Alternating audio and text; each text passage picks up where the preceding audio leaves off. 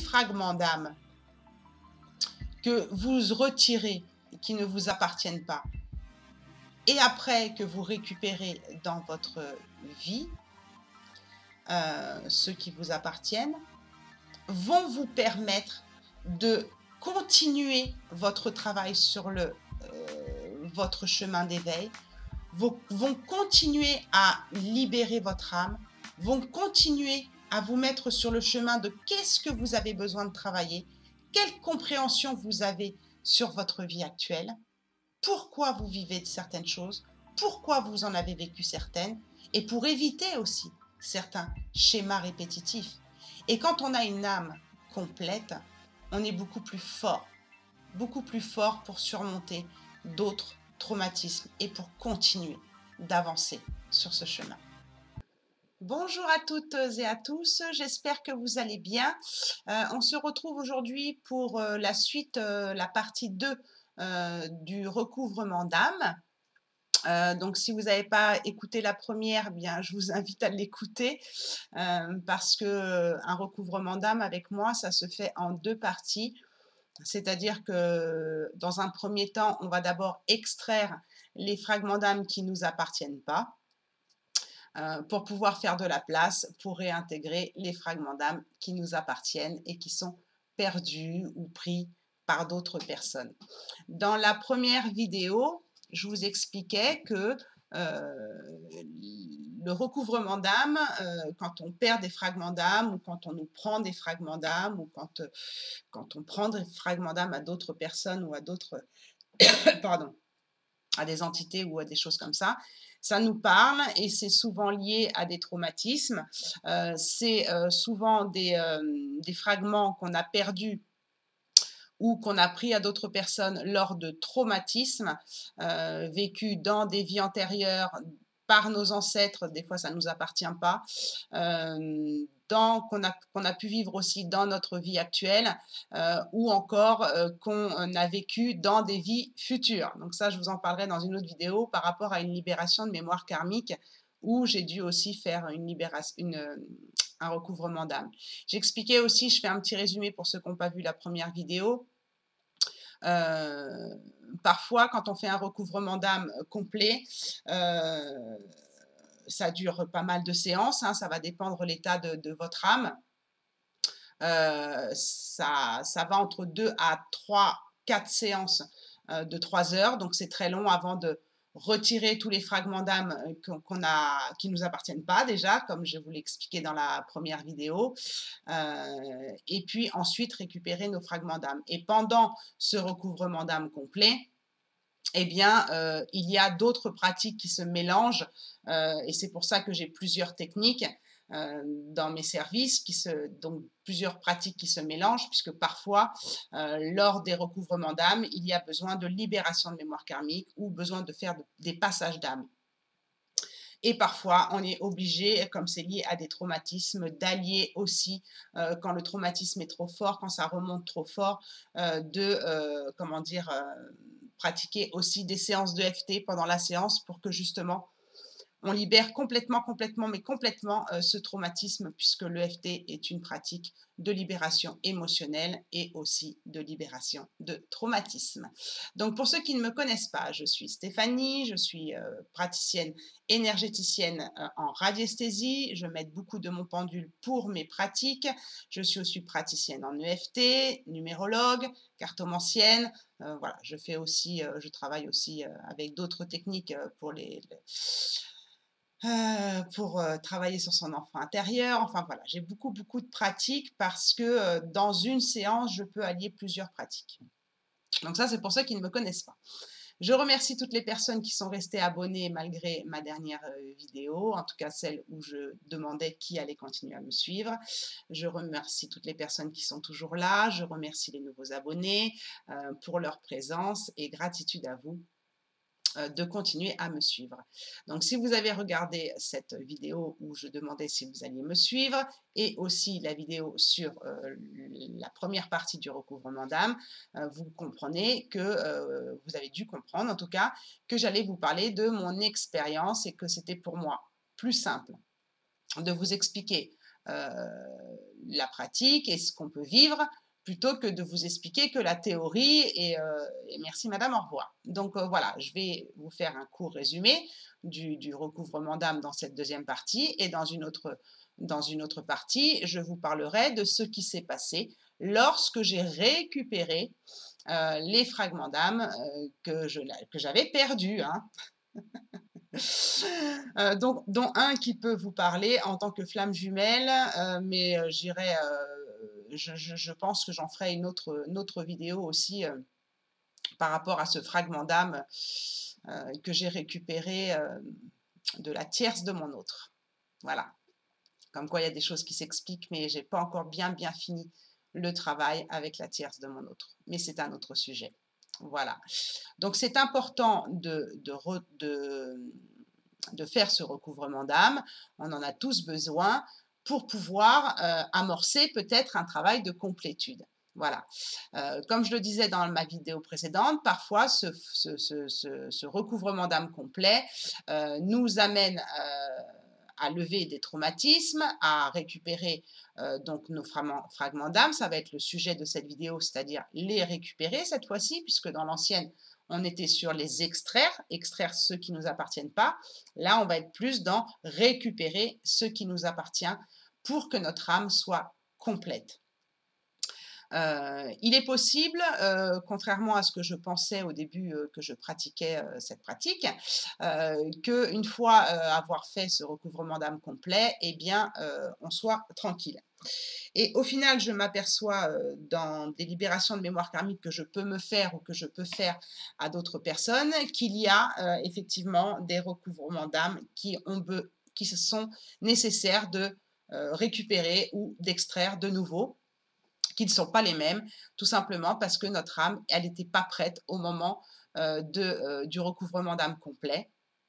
Et donc, euh, ils, ils, apparaissent au moment où on va libérer des mémoires karmiques traumatiques, parce que cette fois-ci, notre âme, ou même nous-mêmes, notre psyché, est capable de faire face à cette part d'ombre, à cette à ce traumatisme, alors qu'au moment où on a fait le, recouvrement d'âme complet, eh bien, nous n'étions pas forcément prêts à encaisser ou à libérer ce genre de choses. Et vous allez le voir euh, dans le recouvrement d'âme que je vais vous présenter, qui est donc le mien complet.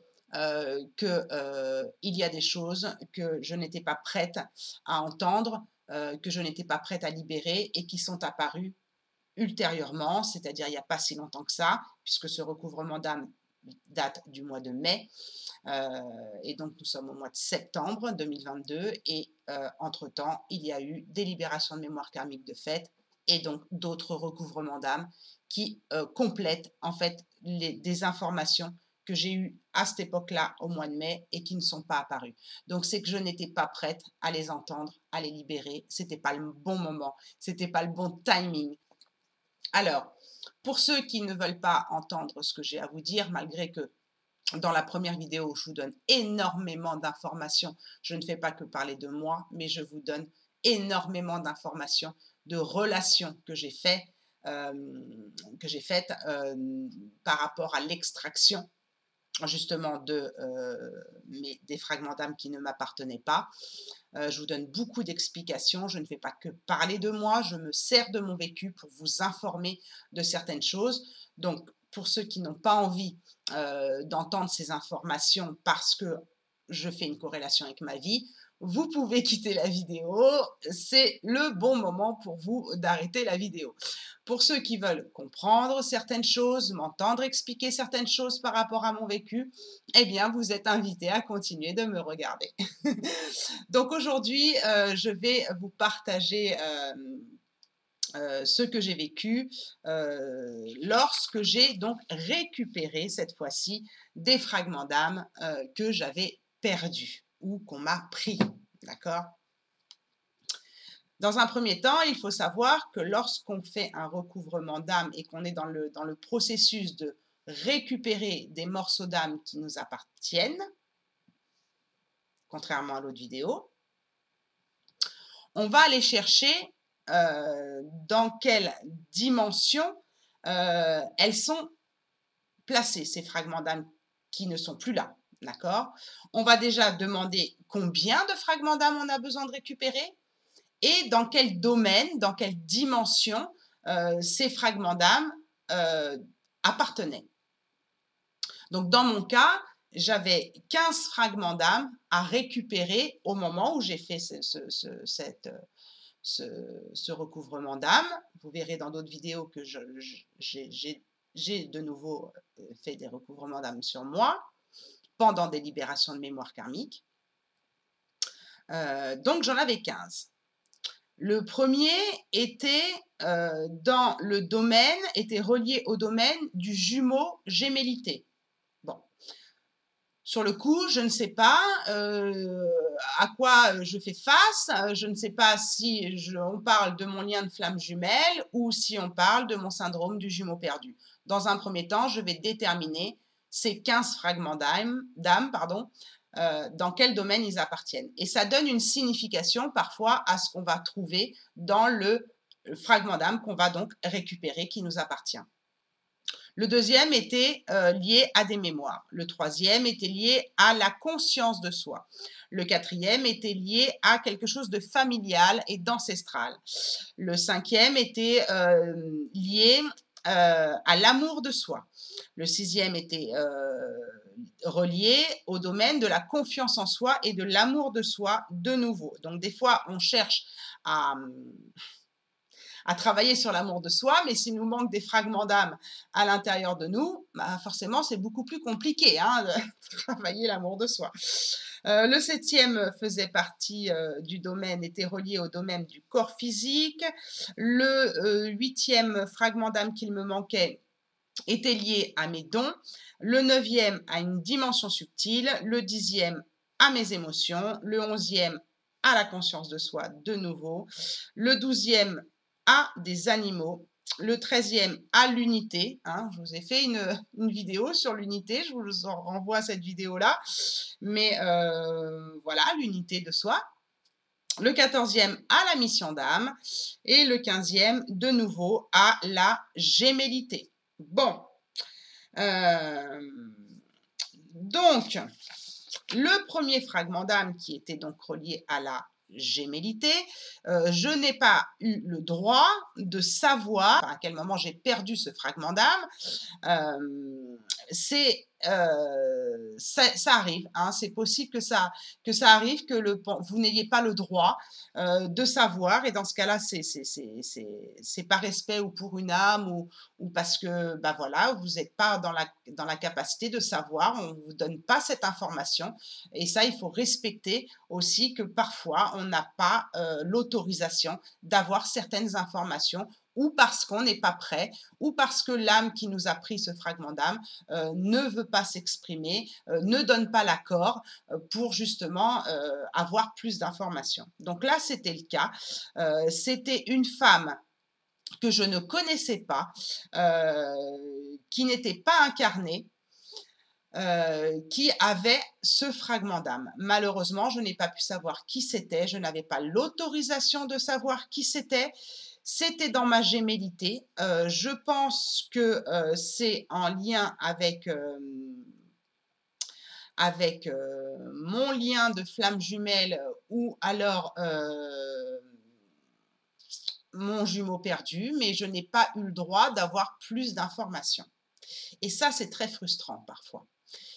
Mais c'est comme ça. Et parfois, euh, l'information peut venir à un autre moment lors d'une libération de mémoire karmique ou un autre moment euh, où un traumatisme va remonter. Et là, vous allez pouvoir avoir l'information parce que vous êtes prête à l'entendre ou parce que la personne qui détient ce fragment d'âme que vous allez récupérer est, est d'accord à ce moment-là pour vous pour euh, avoir d'autres informations.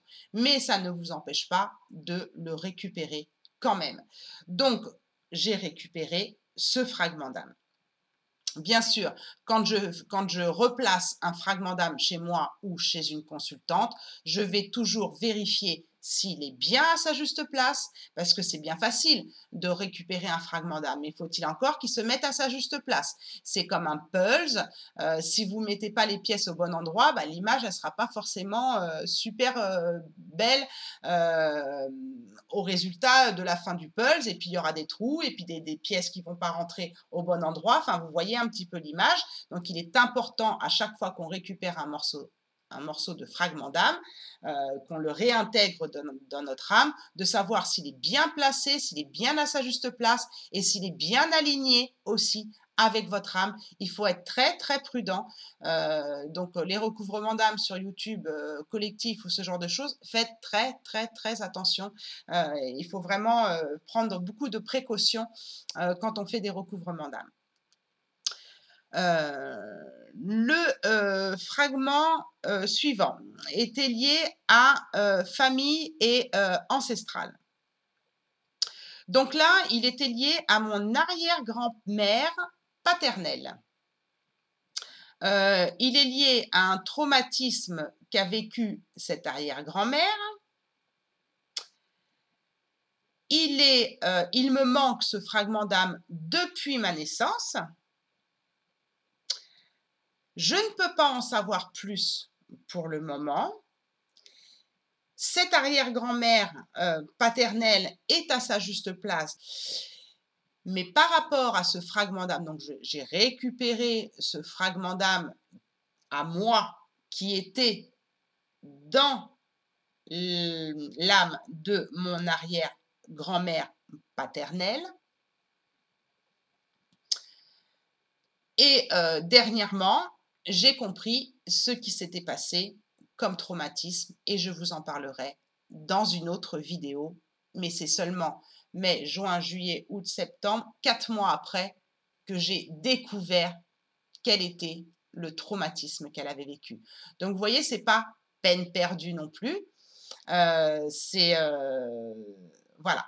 Parfois, il faut laisser le temps euh, d'intégrer l'information, de récupérer d'abord son fragment d'âme pour avoir des prises de conscience et pouvoir continuer aussi notre travail sur nous-mêmes, notre, notre, oui, notre, travail sur notre chemin d'éveil, les compréhensions de nos blessures, les compréhensions de ce qu'on vit dans notre vie actuelle, euh, les traumatismes aussi qui nous appartiennent ou qui ne nous appartiennent pas.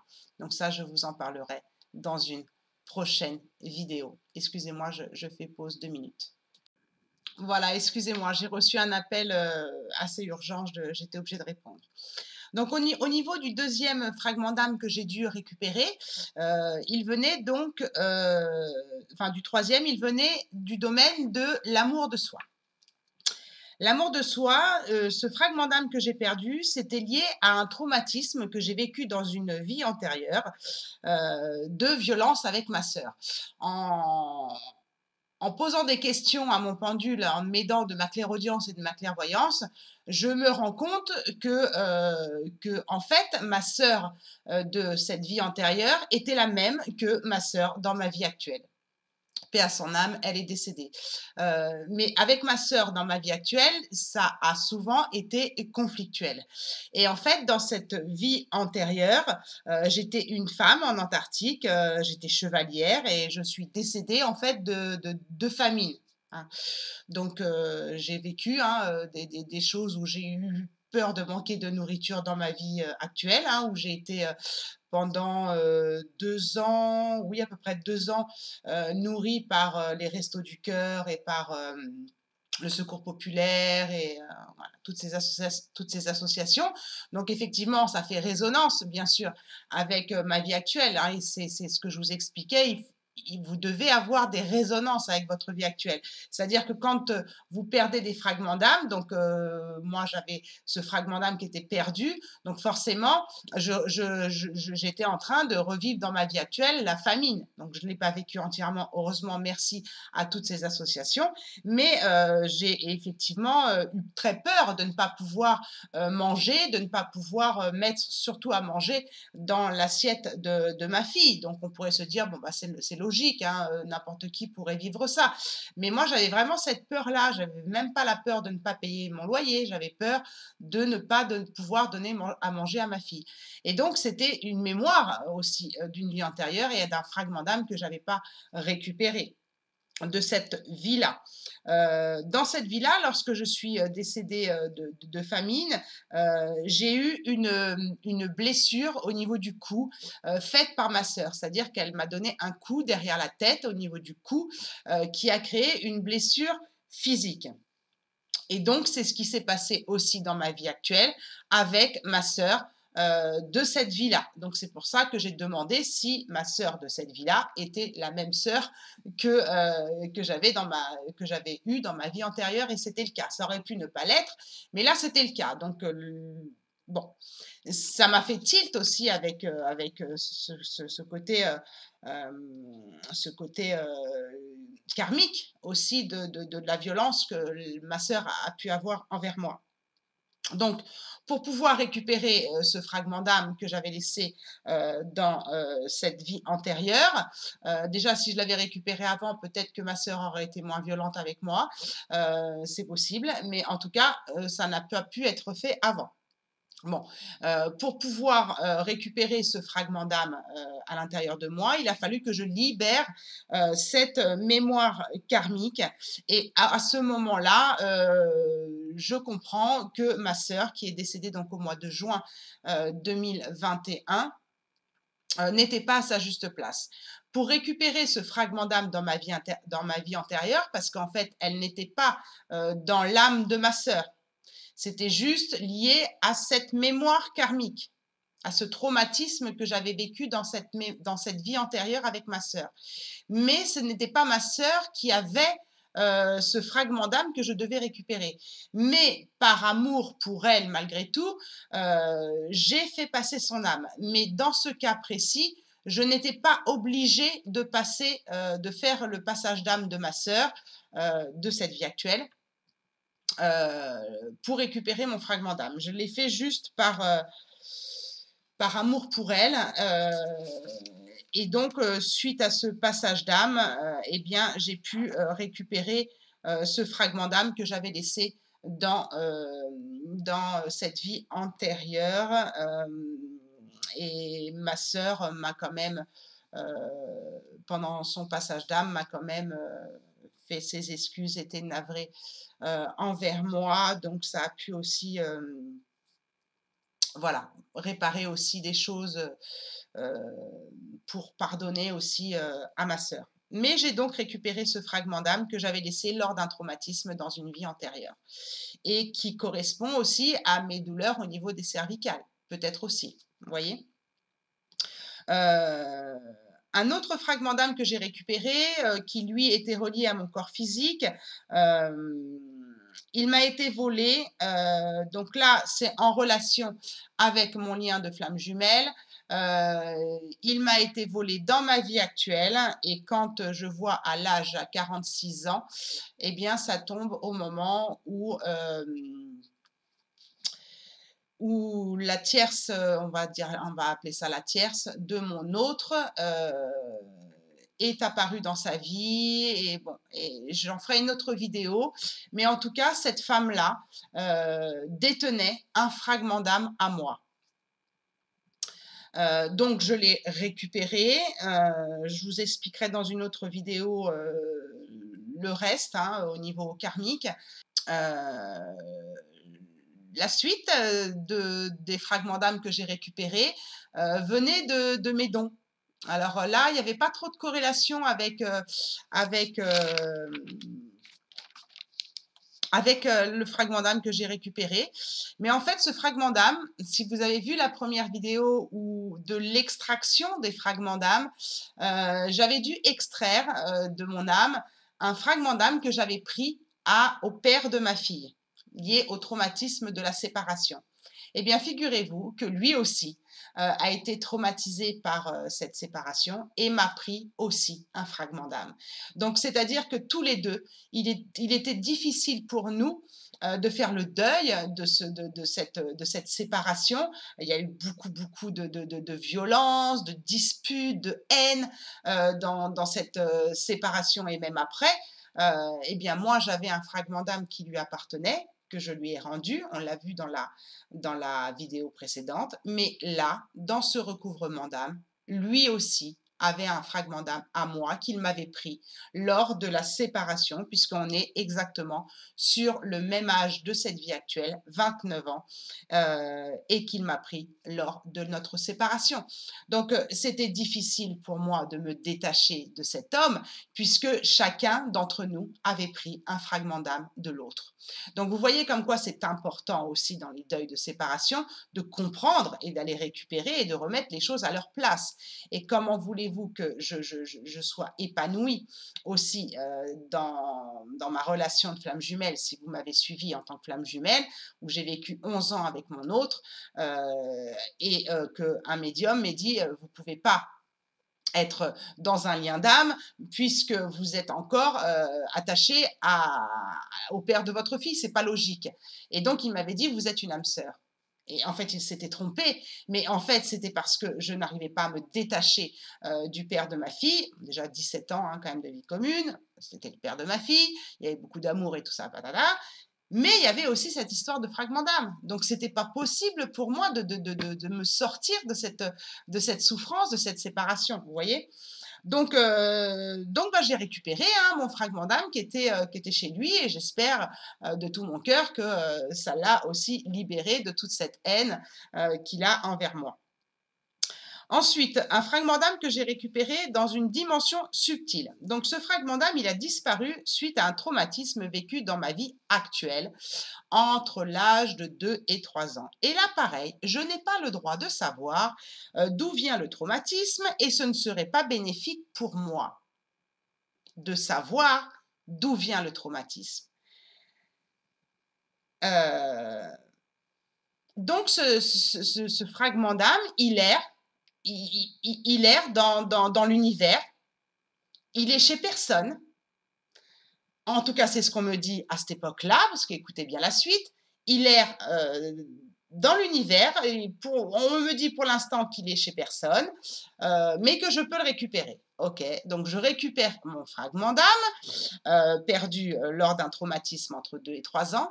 Et dernièrement, je fais une libération de mémoire karmique. Et comme je vous ai dit, sur euh, mon arrière-grand-mère, eh bien, je découvre, euh, je découvre d'où vient ce traumatisme à cet âge-là, et j'ai confirmation par ma mère. Donc, euh, voilà, je vous en ferai une autre vidéo hein, de ce que j'ai découvert comme traumatisme, et, je pense que c'est une vidéo très, très importante à, à, écouter si vous me suivez. parce que oui, je pense que au mois de mai, je n'étais pas prête à entendre ce que j'ai découvert là, euh, début septembre. Je n'étais pas prête. Donc, et le fait de récupérer ce fragment d'âme m'a permise aussi d'être prêtre, d'être prête, pardon, d'être prêtre. Hmm, il y a peut-être un lapsus là-dedans, euh, d'être prête à, aller affronter euh, ce traumatisme dont je n'avais pas le droit de savoir au mois de mai ce recouvrement d'âme, quand on commence à être complet avec soi-même, on est aussi beaucoup plus fort pour surmonter d'autres traumatismes et libérer d'autres traumatismes ou d'autres blessures ou comprendre certaines choses qui nous font avancer sur ce chemin. Donc, euh, je vous en parlerai dans une autre vidéo, euh, mais je pense qu'à cette époque-là, je n'étais pas prête. Mais aujourd'hui, je sais ce qui s'est passé. Euh, le, suivant, euh, le fragment d'âme suivant que j'ai récupéré était lié aux émotions. Donc, euh, ce fragment d'âme, il a disparu de mon âme lors d'un traumatisme qui a été créé dans ma vie actuelle, je vous le donne en mille, in utero. ce n'est pas l'un de mes jumeaux perdus qui détient ce fragment d'âme, mais c'est un fragment d'âme qui erre pareil dans l'univers. Il n'est pas dans une personne, euh, il n'est pas, euh, voilà, il n'est pas dans une personne ou dans un animal. il est dans une autre dimension. je n'ai pas pu avoir d'autres informations, je n'avais pas la possibilité, je n'avais pas le droit d'avoir d'autres informations à part que ça venait d'in utero et de l'un de mes jumeaux perdus, du traumatisme que j'avais vécu lorsque j'ai perdu euh, l'un de mes jumeaux perdus. Donc j'ai récupéré ce fragment d'âme pour que mon âme soit complète. Donc forcément, le domaine des émotions était, euh, euh, logique, hein, parce que j'ai dû avoir effectivement beaucoup, beaucoup d'émotions.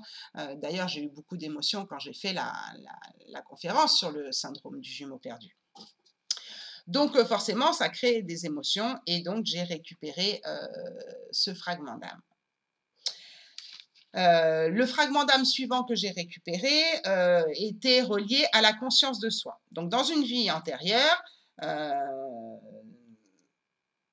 suite à un traumatisme, euh, j'ai été détenue par une femme euh, inconnue, non incarnée, donc que je ne connais pas dans cette vie actuelle, euh, que j'ai connue dans une vie antérieure, qui m'a donc détenue. Je vivais en Afrique à cette époque-là. J'étais aussi à cette époque-là guérisseuse, comme quoi ça me poursuit quand même de vie en vie, si vous avez écouté la vidéo précédente. Euh, c'est souvent hein, que j'ai des vies antérieures où j'ai été guérisseuse. Hein, donc, euh, ce fragment d'âme que j'ai perdu dans cette vie antérieure euh, était plus lié au fait que à ma mort, où j'ai été tuée. Donc, quand, quand euh, c'est une vie antérieure comme ça, c'est vrai qu'on demande toujours s'il y a besoin d'une libération de mémoire karmique. Donc là, effectivement, il a fallu que je libère cette mémoire karmique d'avoir été tué dans cette vie antérieure. Donc, euh, dans cette vie antérieure, euh, j'avais une mémoire de mort brutale, en fait, parce que j'ai été assassinée. J'ai été assassinée, j'ai été tuée par une voisine volontairement et par choix, euh, parce que tout simplement, elle pensait que, euh, que je n'avais pas réussi à guérir son mari.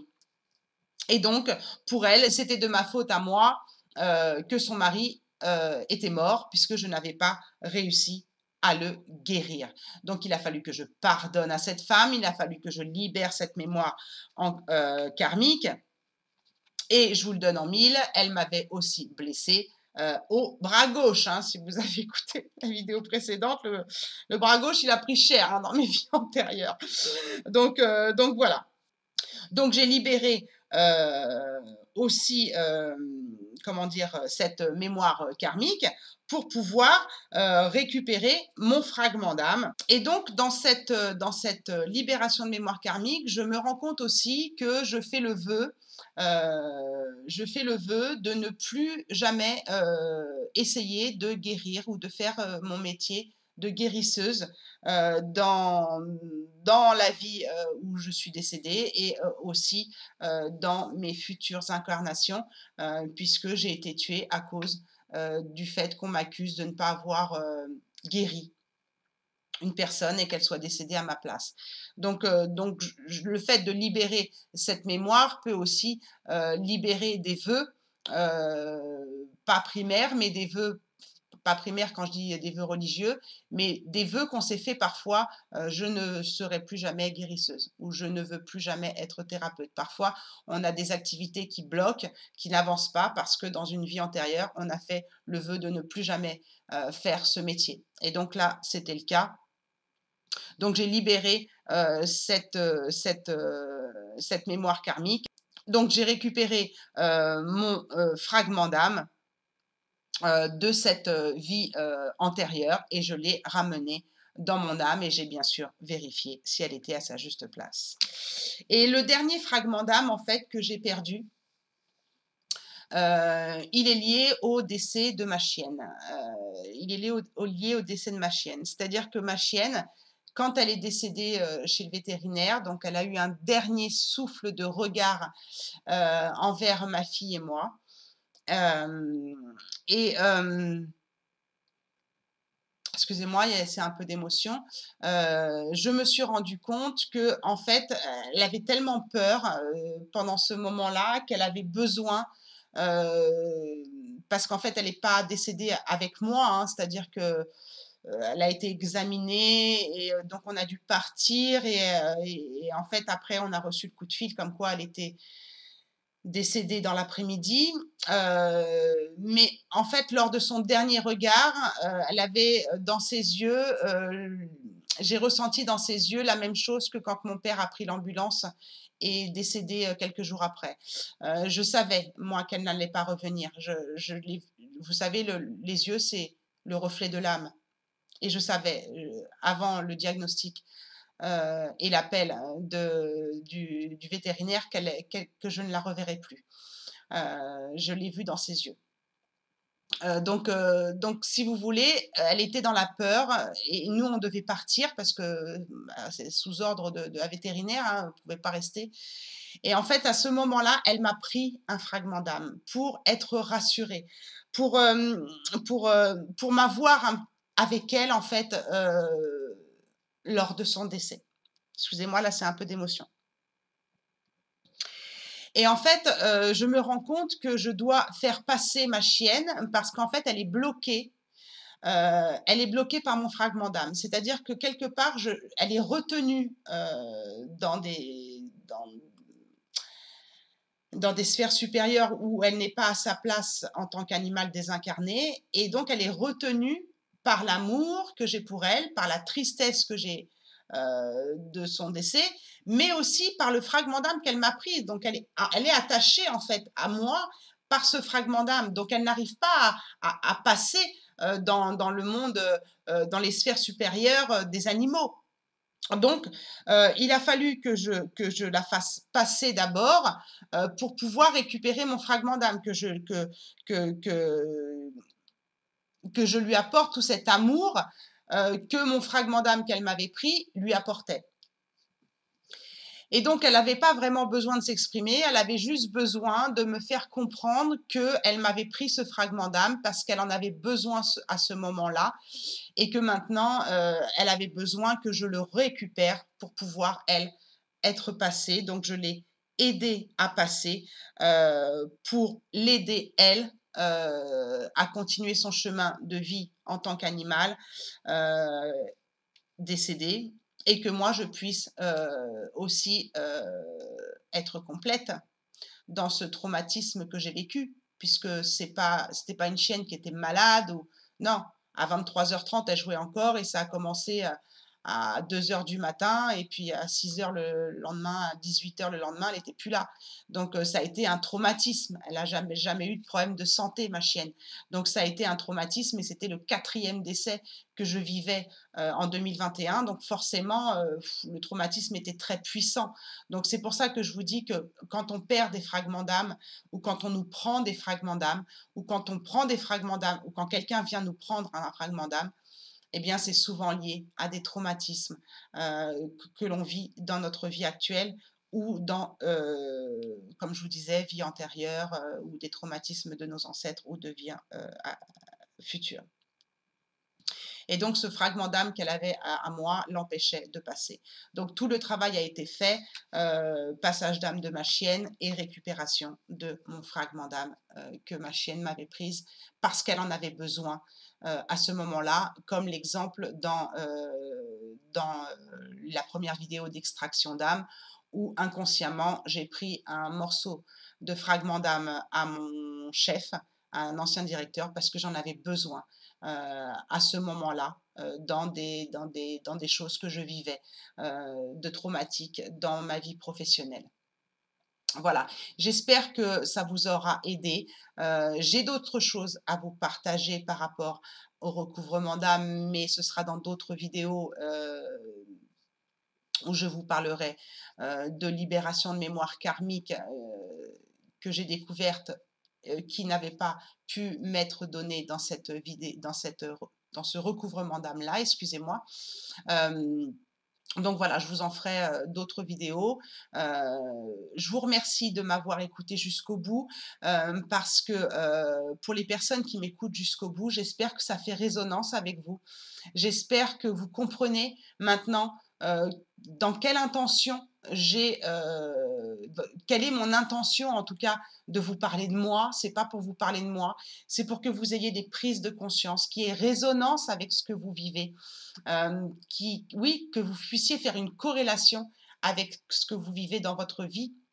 Et vous verrez dans les prochaines vidéos que c'est euh, que c'est fort parce que ces fragments d'âme que vous retirez qui ne vous appartiennent pas, et après que vous récupérez dans votre vie euh, ceux qui vous appartiennent, vont vous permettre de continuer votre travail sur euh, votre chemin d'éveil, vont continuer à libérer votre âme, vont continuer à vous mettre sur le chemin de qu'est-ce que vous avez besoin de travailler, quelle compréhension vous avez sur votre vie actuelle, pourquoi vous vivez certaines choses, pourquoi vous en avez vécu certaines, et pour éviter aussi certains schémas répétitifs. Et quand on a une âme complète, on est beaucoup plus fort, beaucoup plus fort pour surmonter d'autres traumatismes et pour continuer d'avancer sur ce chemin. Voilà. Je vous remercie de m'avoir écouté jusqu'au bout. Je vous fais de gros, gros, gros bisous à tous. Pensez à vous abonner si ce n'est pas encore fait. Euh, merci à toutes les personnes qui likeront cette vidéo euh, pour pousser euh, cette vidéo et pour m'encourager dans mes partages et dans l'aide que je peux vous apporter. je vous embrasse très fort et je vous dis à très bientôt. et n'oubliez pas que la personne la plus importante, c'est vous. Je vous embrasse. Ciao, ciao.